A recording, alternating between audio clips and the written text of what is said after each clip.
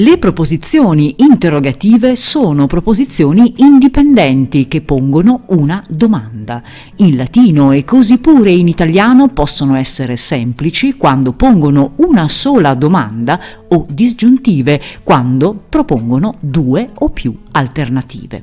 Il modo usato è l'indicativo, tranne quando l'interrogativa esprime dubbio, eventualità, possibilità in questo caso si trova usato il congiuntivo.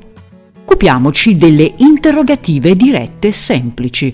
Esse possono essere introdotte, come abbiamo visto, da pronomi, aggettivi e avverbi interrogativi, ma anche da alcune particelle. Vediamo quali.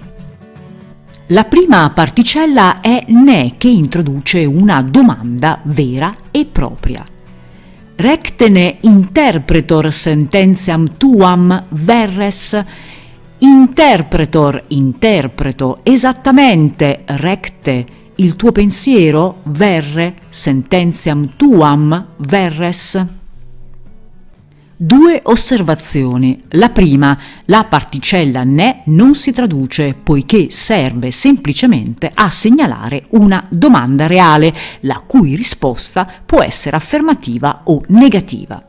La seconda, ne è una particella enclitica perché, non possedendo accento proprio, si appoggia alla parola precedente, in questo caso all'avverbio di modo recte.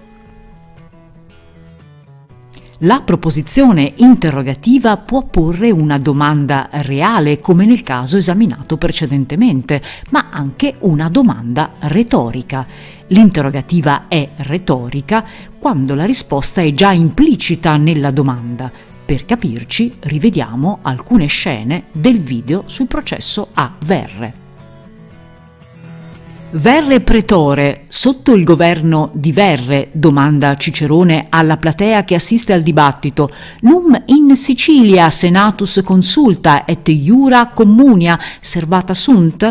In Sicilia sono stati forse rispettati, num servata sunt, i decreti del Senato, senatus consulta et iura communia e i diritti umani?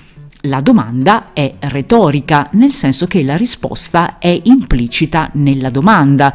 Ovviamente no, non sono stati rispettati né i decreti del Senato né i diritti umani. Siamo quindi di fronte a un'interrogativa retorica che presuppone una risposta negativa.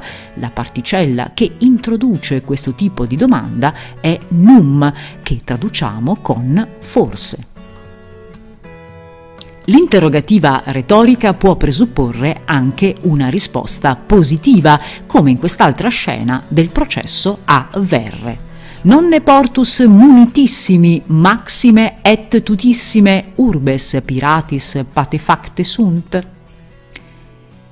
Porti ben fortificati, portus munitissimi, città molto grandi, urbes maxime et tutissime, e sicurissime, nonne piratis patefacte sunt, non furono forse aperte ai pirati?